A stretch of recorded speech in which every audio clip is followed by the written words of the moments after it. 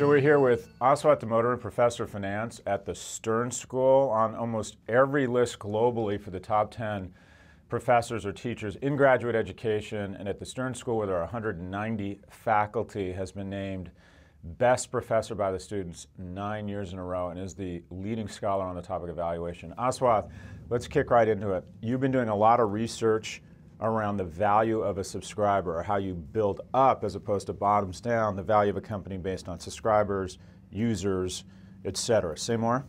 Well, I'd love to say I've done a lot of research. I've just started exploring it, and there's so much more left to do. Because I think if you look at the traditional ways we valued companies, we value them from the top down. We project our total revenues, we subtract our total expenses, we come up with income and cash flows, and we value the company. Mm-hmm. The reality is we've shifted to a world where companies are focused on users, subscribers, members, because it seems like that's the way they think about value. And perhaps it's time for us to start thinking about valuation from the bottom up, from thinking about users, the value of a user, building up to the value of a company. Because I don't think we're asking the right questions when we look at these companies that are user or subscriber based. What are those questions? Well, one of those questions is, you know, you've got lots of users. Mm-hmm. How intense are these users? Mm-hmm. Are they on your, you know, are they with you an hour a day, 20 minutes a day, two Engagement. minutes a day? Engagement matters. Yep. How loyal are these users, mm-hmm. right? To the extent that they stay on with you, they're worth more how likely is it that you can sell these users more things? So in a sense, I need to know more about your users to decide whether users are worth nothing or whether they're worth mm-hmm. $100 or $1,000 a user. So give me an example of a very valuable user or member versus not so valuable and attach it to a company. Okay. Let's start with Netflix, right? A mm-hmm. Netflix subscriber is valuable for two reasons. One is they're locked in. They mm-hmm. have a subscription agreement. We know from, from studies of psychology that mm-hmm. when somebody opts into something, they're more likely to stay on. If they don't, if, if to get out of it, they have to opt out. Mm-hmm. So Netflix has has subscribers who provide them with revenues that are, in a sense, you can count on it's valuable to the extent that those revenues, you, you know exactly what you're going to renewal make. rates. Know, it must have 95 plus exactly. percent renewal rates. So, and so from that perspective, a Netflix subscriber is worth a lot. Mm-hmm. An Amazon Prime subscriber is worth a lot for a different reason. It's not the $99 a year that mm-hmm. makes them valuable. I mean, even though it's 70 million members, $99 still works out a lot of money. Mm-hmm. It's the fact that they buy $400, $500, $600 right. worth of merchandise and that keeps going up because the more they buy, there's a networking bene- benefit that Amazon mm-hmm. gets, which is the more people buy on Amazon Prime, the more likely it is that they'll buy more stuff on Amazon yep. Prime. That ecosystem gets richer over time. So an Amazon Prime subscriber is worth a lot simply because you can count on growth for a longer time. We measure our business looking at those two things. There's renewal, mm-hmm. so what percentage of the logos or consumers right. renew and then there's dollar renewal, and that is of the people who were your members the year before, the next year of that $100, is it 80, is it 100, is it 140? And it looks like Netflix must have a near perfect renewal rate, right. but I imagine the dollar renewal isn't that much greater, right. whereas Amazon every year figures out a way to exactly. increase it. Give me some members that don't look like they're valuable and the company let's associated let's with it. Let's take a company that I've lost money on, Twitter. Right? Mm-hmm. Twitter has lots of users, but the reality is those users don't seem to be either intense or locked into. They don't. They might not opt out of leave Twitter, but mm-hmm. even when they're on Twitter, they're not on enough of the time that Twitter can do much with them. Mm-hmm. So that's a classic example of a company with lots of users that can't figure out a way to get a high value per user because the users don't see it, and it might not be Twitter's fault. I mean, they've had management issues. Their their platform might not lend itself that well to users staying on. Mm-hmm. So when people are building platforms for users, they have to think about platforms that are rich enough that users want to stay on the platform. Mm-hmm. It's something that Facebook has done incredibly well is make their ecosystem richer and richer mm-hmm. so that it's not just the Facebook posts you're going for, it's mm-hmm. Instagram, it's WhatsApp, it's part of an ecosystem where you're trying to keep people locked into you. Mm-hmm. So I think that that is something we have to increasingly pay attention to is how locked in are users into your ecosystem because that's the only way you can sell them more stuff. Amazon, it appear, would appear to me, based on intensity, renewal rates, ability for dollar renewal to increase, that they're basically saying, pay us 99 bucks a year so we can sell you more and more stuff. Exactly. exactly. And it just, and by the way, these relationships are with the most the wealthiest households in the world. Right. So it feels like they could go from whatever a $300 Amazon user is to 700, which is a Prime user. it's conceivable they could take them to 7,000. Right. I mean, it's just, I don't see anything that has a more valuable user base than Amazon. Yeah. And I think that that's absolutely true. The, the biggest cost that Amazon is faced with its Prime members is the shipping cost. Mm-hmm. It, co- I mean, if you look at the, the I The think the last year it's seven and a half billion dollars Yep. on shipping costs just for Prime members. Yep. And in a sense, it gives you an opening as to why Whole Foods might have been a good buy for them. It's Mm-hmm. got nothing to do with being in the grocery business, which is a horrible business to be Mm-hmm. in given its margins. It's a fact that you now have distribution centers in some of the wealthiest zip codes in the country Mm-hmm. where you can deliver stuff without having to send things 3,000, 5,000, 8,000 miles.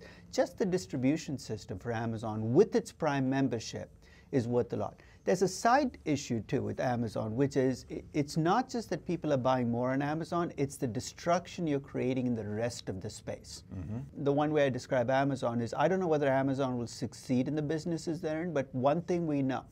The businesses they They'll go into, they will destroy Yeah. everybody else in the space. Yeah. The benefit they get from that is as you destroy your competition, where else Mm-hmm. are your prime members going to go but to come back to you? Well, to your point, they didn't buy a thir- they, they didn't spend thirteen dollar thirteen billion dollars for a half a for a five hundred million operating income company. They spent thirteen billion dollars for greater intensity across their the fifty eight percent of households they have this ongoing relationship with. So let's talk about Amazon. And I had chills go down my spine yesterday when you said that you thought you had a difficult time seeing how Amazon would run from here, that it was sort of priced to perfection. I've been saying that for seven years. Yeah. So, in a sense, let me start off by admitting that over the last seven years, I've looked Mm-hmm. at Amazon and said, I don't see how Amazon can pull this off. And each time the market keeps pushing the price higher. Mm-hmm. There are times when you got to ask, stop and ask, Am I missing something in the company? And the question I keep asking myself is, There something the market sees here that I'm not seeing? And there is this, this, this small opening where you can get to the value. And that small opening requires almost a conspiratorial view of the world, where Amazon essentially becomes the only game in town. Yeah. So I hope the antitrust Across guys- several sectors. across several sectors. Yeah, yeah. And if that happens, you could argue they're worth what they are. But the question is, what's the rest of the world doing while this is happening?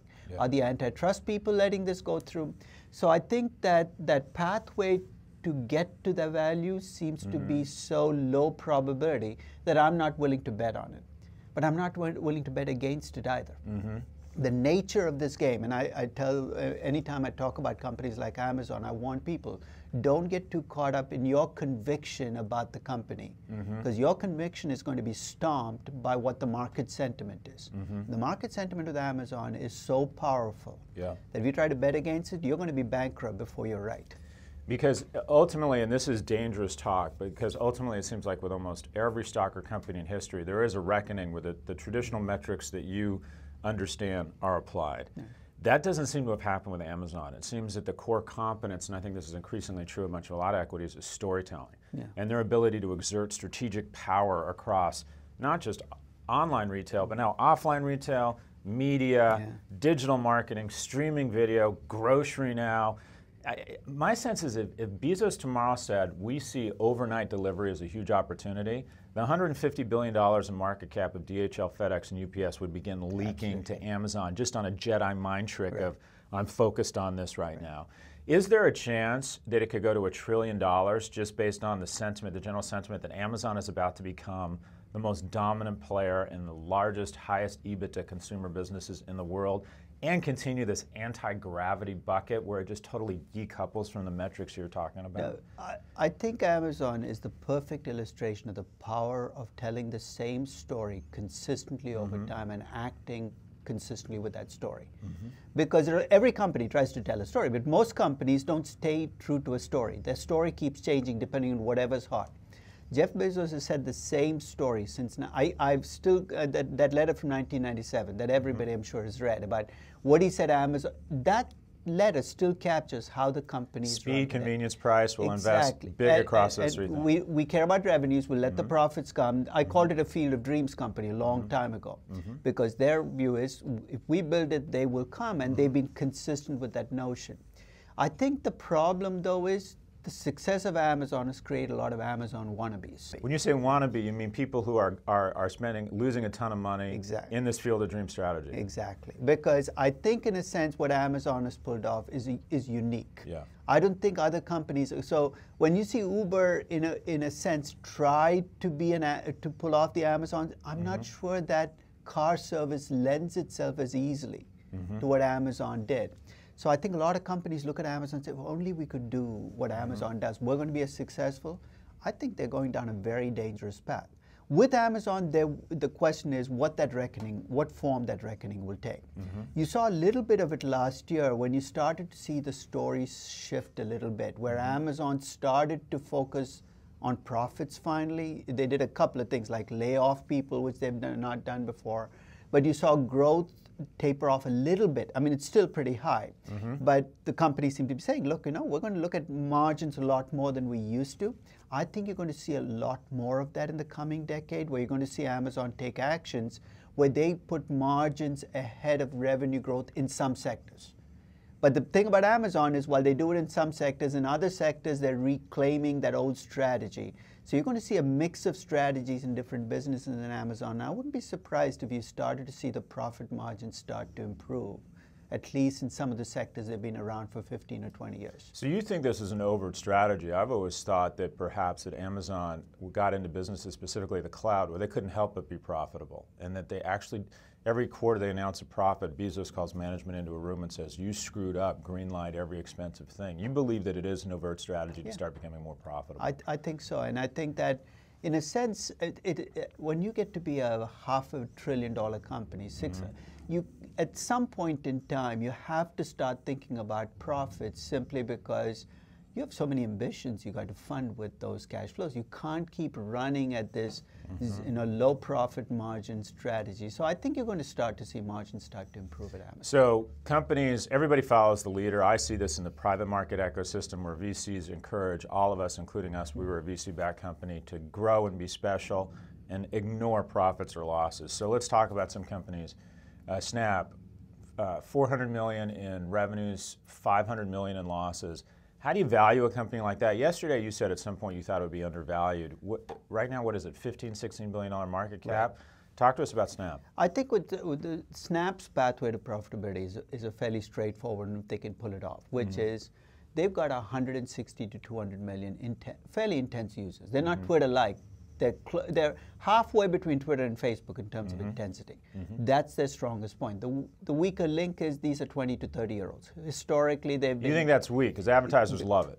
they, it's weak simply because we know. I, um, I have a 27 year old, a 23. Uh, they're fickle. They're, Yeah. Right? Today it's Snap. God only knows what it'll be tomorrow. Yeah, yeah. If Instagram is cooler than Snap for some reason, they're going to be on Instagram.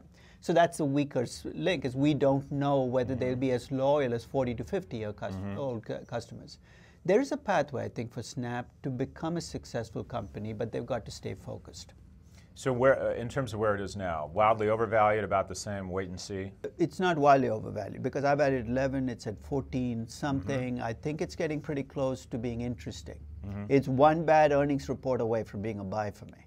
Yeah, 'cause it all always can- swings past, Yeah, right? because i y if you have one bad earnings report where the user numbers start to taper off, because that's Mm-hmm. all people seem to focus on, if it goes to seven or eight, I'll buy Snap. I mean, Snap at seven or eight to me is a is a pretty good investment because I'm getting 160 million users who are checking their Snap 25, 30 times a day, Mm-hmm. and if Snap can then figure out a way to start to deliver, and that's that's the if.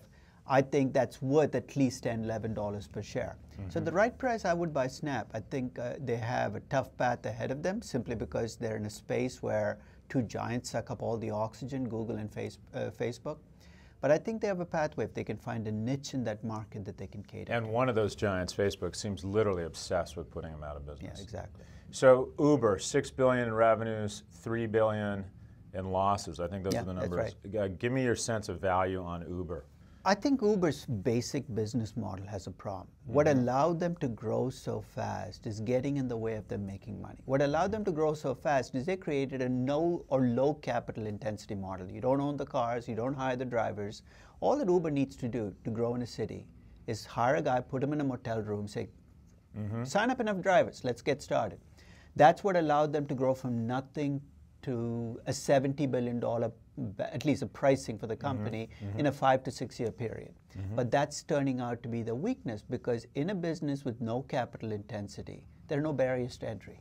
There's a lot so, of liquidity. You and I could start a drive sharing market and, in And essentially, what Uber's original strategy was mm-hmm. we'll spend the competition into the ground, we'll drive them out of business. Mm-hmm. In 2013 and 14, it looked like they had a shot mm-hmm. because it was so much bigger than everybody else. But then you started to see the other players attract capital. So everybody's throwing cash into the business, mm-hmm. nobody's making money it's essentially almost like everybody is, you know, is going to price themselves down. I mean, I look at what I pay for an Uber Uber ride and said, "There's no way." Yeah. Anybody in this game is making money, not, not, Uber, not the driver. Yeah. It's, it's great for customers. Yeah. But this is not a business that's sustainable in the long term. Yeah, 50 bucks to get to the airport, and you know it costs Uber 75. Absolutely. Economically irresponsible not to take Uber everywhere. So, wouldn't that that so that Barry, uh, Uber has liquidity in every market, and you can with 30, 50 million bucks start an Uber competitor. Doesn't that lend itself well then to a company like Airbnb where you need global liquidity, where even if you have rental listings in Houston, you have to have global awareness from everybody coming into Houston? Doesn't that make doesn't the same thing make Airbnb more valuable, whereas it makes Uber less valuable? Potentially. You know, Airbnb has a potential for global networking benefits. Right. Uber has local networking benefits, which means right. if they dominate a city, they're going to get to a tipping point where they become. So I think for Uber, the key is to change the business model. Mm-hmm. They've got to find a way to make this a more capital intense model. How would they do that? By that's owning the cars? That's why they try, you know, try to get into electric cars. And mm-hmm. uh, in a sense, but the problem is now they're competing not against Lyft and Didi, they're competing against Google. And the mm-hmm. reality is Google and Apple have enough cash in their checking accounts yeah. to spend you under the ground. So they're entering a space where their competitive advantages are much more minimal. But I think Airbnb does have that advantage of having a potential for a global networking benefit. So Airbnb, I think at a most recent round of about 25 billion, Airbnb, it's, Airbnb, uh, excuse me, Uber at 70 billion. You would argue Airbnb probably overvalued. Air, uh, I'm sorry, Uber overvalued. Airbnb, where would you put it? I think Airbnb has. I mean, I think at 25 billion is closer to its fair value. Mm-hmm. I think mm-hmm. Airbnb has more of an issue now with regulators because that's coming yep. now. Uber's already gone through the brunt of that process, so they're working out some probable, at least, a compromise mm-hmm. where they can live with ride-sharing companies. Because the reality is, many cities without ride-sharing, you can't get from point A to point mm-hmm. B. The taxi cabs can't do it anymore. Airbnb is, I think, getting to the point where the regulators are going to wake up and start being more assertive about what they need to do. Mm-hmm. And I think it's, I mean, a lot of these these young disruptive companies live off regulatory arbitrage initially, mm-hmm. at least, which is you see it in fintech, you saw it with Uber initially. The regulations that govern the status quo are often meaningless. You know, they're, they're legacy regulations, and what these startups do is they essentially become are able to succeed because they don't have to deal with those regulations. Mm-hmm. Airbnb increasingly will have to deal with the regulations that hotel companies have had to deal with historically. Yeah, the innovation class plays and, by a different set of and, rules, and, right? And once, but once you get to a certain size, the mm-hmm. regulators wake up and say, "We're going to pay attention to you." Yeah, we I want you to pay taxes and have have minimum wage and, also kind of restrictions on yeah. where you can put your. I mean, you, are going to see the zoning restrictions yeah. come in and where you can do this. Yep. I think they're positioned better than Uber because they don't have to deal with, a, with the equivalent of a Didi mm-hmm. Chuxing or a Lyft in this business while they're building up.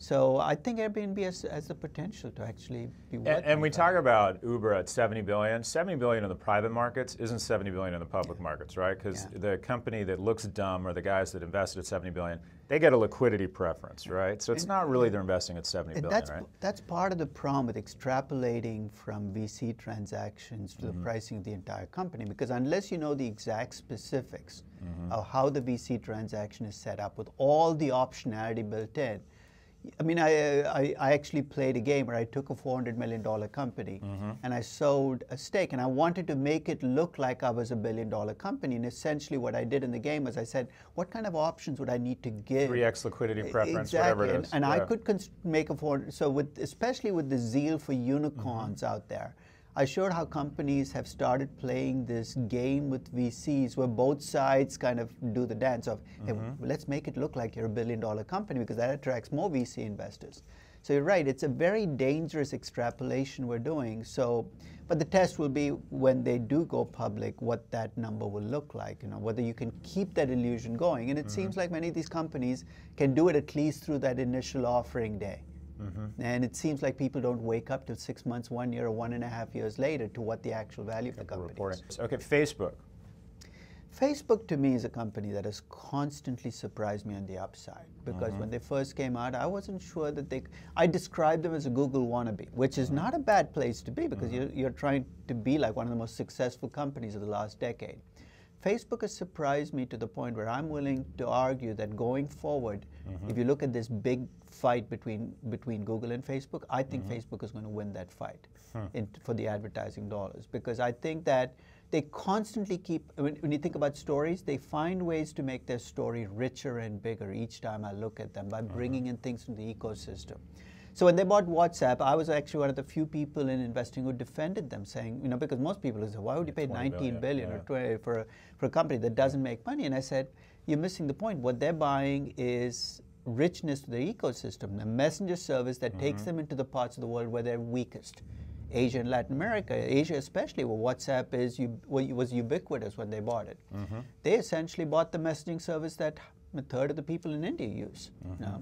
So I think they to, to when I look at every action that Facebook takes, it seems to be an action that is designed to make you stay in their ecosystem. The intensity. Exactly. Yeah, yeah, yeah. 20 billion on a 450 billion dollar market cap for again increased intensity yeah. feels and, feels and, like and, a Whole Foods like acquisition. I, I don't use the word real option mm-hmm. casually because people use it almost as an excuse for paying a premium. Mm-hmm. But this is a case where the optionality you get because your users are so attached to your ecosystem so long mm-hmm. that Facebook, I don't even know what they can do with these users going forward. But you have 1.9 billion users on your system all the time. Yeah you'll find ways to make money. Google. Google, the, the thing about that's always surprised me about Google is how they remain an advertising company. Mm-hmm. Right? They try all this other stuff on the side. You get a lot of, I mean, they get a lot of pu- public relations out of every, you know, the Waymo and, but at the end of every quarter, I actually check what percent of revenues comes from old-time advertising, and it's mm-hmm. 95 percent. Mm-hmm. Now, I call it the sugar daddy company mm-hmm. because it's a company where the search engine provides so much revenue, so much earnings, so much cash flow, and it's predictable earnings mm-hmm. and cash flow that they can experiment doing all kinds of things. Curing death. And I'm exactly, and I'm not sure that's good for a startup. Right. To have cash you can count on no matter what. Mm-hmm. And part of the reason Google might not have been as successful in the other endeavors is I'm not sure you can behave like a startup if you know you can go back to the parent company for another billion dollars if things don't go right. Mm-hmm. So I, I'm amazed by the cash cow in the, the advertising business, but I'm also amazed that they haven't found a way to make the rest of their ecosystem at least start on the. I don't even see the starting of a pathway to profitability in most of their other businesses. So undervalued, overvalued relative to the other guys? It's actually, it's close to, I mean, I, uh, Google to me has always been within 10, 15% of value to company. But the, the, earnings and cash flows are so immense mm-hmm. that, you know, I, the way I describe it is, you know, when I, when I looked at Google and Apple about eight months ago, is Google is the better business because Apple mm-hmm. has to recreate itself every two years because it's a smartphone company. Mm-hmm. You're only as good as your next iPhone. Now, Google has this business that in the long term will keep generating earnings and cash flows. But I thought Apple was a better investment than Google at that point in time. But Google wasn't significantly overvalued. It was within mm-hmm. 8 to 10% of its value. So Apple, huge run up lately. What do you think of Apple? I think it is, it is about where I would, ex- uh, w- I would value it mm-hmm. right now. Mm-hmm. And with Apple, whenever I get to that point, I sell the shares because you're now playing the next iPhone game. Mm-hmm. Because the iPhone 8 comes out, it does. So I don't want to play the smartphone game as to what the iPhone. I'll wait for the iPhone 8 to come out, mm-hmm. and here's what I'm looking for. If it doesn't do well, it's almost predictable, given the last 10 years of Apple, what's going to happen. People are going to sell the shares, drive it down to 80 or 90, and I'm going to be waiting. You think there. you think Apple's going to get cut in half? Well, the way investors in Apple behave. Yeah, yeah. That's how they, they're always one iPhone surprise yeah. away. Yeah. This is a company where the, the story goes from this is the end, they're dead, to mm-hmm. this is a company that's refound its growth. Neither of which is true. This is the, the greatest cash machine in history. It's been mm-hmm. the greatest cash machine in history for the last seven years. Mm-hmm. But it's a, it's, it's a mature company. You're not going to get 20% growth in Apple. Mm-hmm. You're going to get 3 to 4% growth, and that's in a sense your, your, your, your more likely scenario. Mm-hmm. But the market keeps going from believing it's found a 15% growth trajectory to one that says it's going to be dropping by 15% a year. So it's, uh, I've actually bought and sold Apple three, three times in the, in the last 10 years simply because of this up and down movement in the mm-hmm. shares. We talked about Netflix earlier, yeah. up huge, I think 70 or 80% just in the last six months. Netflix. I think Netflix, the model has changed, right? It, mm-hmm. I mean, I think the, one thing that always used to, to, to, scare me about Netflix is how much they were dependent on other entertainment companies for their basic content. Mm-hmm. And my fear was that they would be held up for, because once they got big, the, the, entertainment companies would come to them and say, we want three times more, five times more. And given that you've promised your users the movie access, you're going to pay that. What Netflix has done pretty well is changed its focus towards original content. A different business. They're entering a dangerous business because we know how the entertainment business works. Egos drive budgets, and then budgets get out of control. Mm-hmm. But they've actually managed to create enough of a content business that there are some users who watch Netflix just for their original content. I thought that I never thought that would happen. No. And I think it's going to be interesting to see how they build up original content outside the US because it's very clear that their ambitions now are to build up the user base outside. And if you think about outside US and you think about numbers, you think about India and China. Mm-hmm. And um, Marco Polo was a badly focused exercise in trying to get Chinese mm-hmm. users to sign up. But I think that uh, that's where see, I, I, see Netflix going more global, more original content. And it's a company that's uh, that at its current price is, I mm-hmm. think, a little overvalued. I, I, mm-hmm. wouldn't buy it, but it's a company which stays on my radar because I mm-hmm. like it as a company. It's one of the few companies where Amazon has tried to enter the space and not been able to try to move Netflix away from its subscription model. And that's that's kind of tough to do. But so original content, yeah. they're spending six and a half billion this year. Amazon spending four and a half. So just to circle back to Amazon on original content, Amazon is now spending two thirds or seventy percent of what Netflix is. So at some point, they're going to. You, you would think they might be kind of a viable competitor. Uh, Apple and hardware, the most innovative hardware product of the last couple mm-hmm. years wasn't wasn't the Apple Watch, wasn't Pods, it was Alexa. Yeah. Facebook and Google, digital marketing, Amazon Media Group, no one ever talks about it. It's a billion and a half dollar company, probably growing faster than Facebook or Google.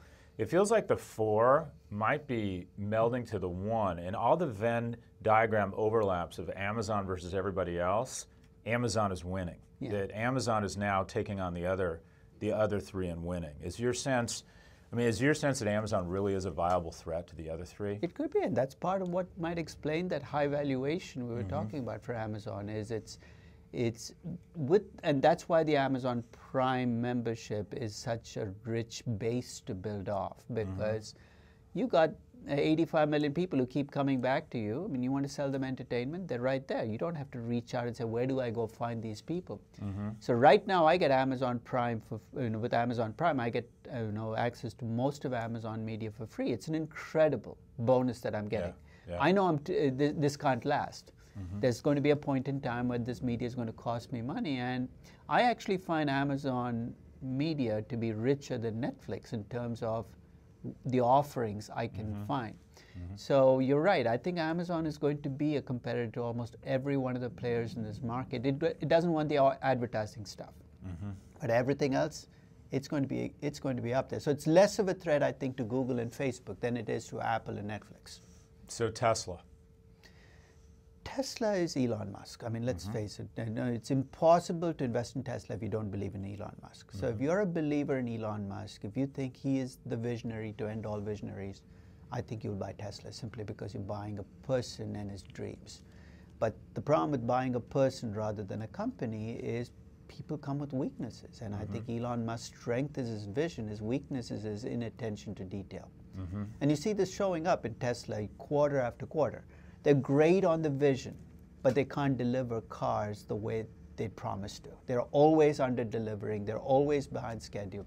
Mm-hmm. So to me, the moment of reckoning is going to be in 2000, uh, as you look at the Tesla 3 rollout, is whether they can actually deliver. If they can deliver, I think they deserve to have a higher market cap than Ford and GM and mm-hmm. Volkswagen. I mean, maybe not Volkswagen, but essentially companies that have legacy cars that still do business the old way. Mm-hmm. We just saw Volvo announcing that they were going to phase out their gas cars All and going. Yep. So I think the world is shifting, and Tesla might be in a better position to to to operate in that world than many of the legacy companies. So everyone we've mentioned so far is either fair, fairly valued or what feels like kind of overvalued. Right. Do you look at anything out there right now and think it's undervalued? It's tough in this market yeah. to find undervalued. I mean, we're in a market, it's not tech companies. So when people blame tech companies for mm-hmm. this, the overall market is richly priced. It's mm-hmm. richly priced, you know, given history it's perhaps reasonably priced if you factor in low interest rates. I mean, that's mm-hmm. the only way you can say it's, you know, I, am okay with this market. Mm-hmm. Is my opportunity cost is if I don't invest in the stock market, where am I going to go?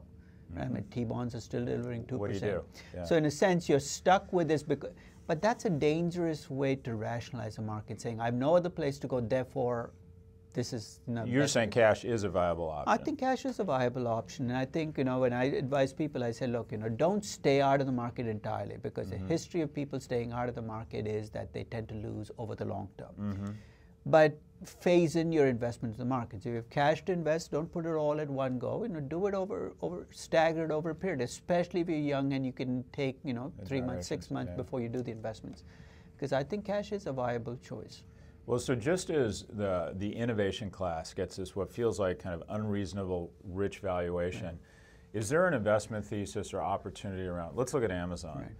Um, Amazon announces they're buying Whole Foods, and basically, or anytime Amazon announces anything. anything good, which yeah. is a lot, the rest of retail gets hammered. Right.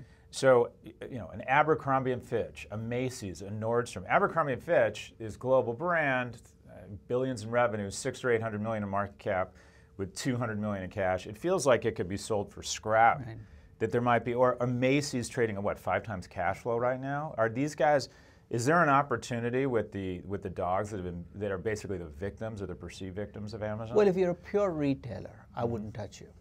You know, so uh, Macy's. I, I, walked into Macy's yesterday and I walked out right away. It's a mm-hmm. depressing place to shop. It's a depressing. I think that's their tagline. No, and, but I think that's true for a lot of old times. Sears, yeah. Macy's, J.C. Penney. You yeah. go in and you don't feel like it. It yeah. feels like you know merchandise is thrown all over. There is no rhyme or reason to what they do. And Abercrombie and Fitch is interesting because you're not just buying. You're buying a brand name as mm-hmm. well. J. Crew, mm-hmm. right? I think you have to separate the retail space into those who are pure retailers. So basically, mm-hmm. you know, just and those who might have a brand name that could be valuable. I mean vertically integrated. They exactly. have their own brand. Yeah. yeah, yeah. So I think that's going to be my, the dividing line because old time retail is in this watching. It's like watching the Bataan Death March. Yeah. There's no real optimistic end to this game.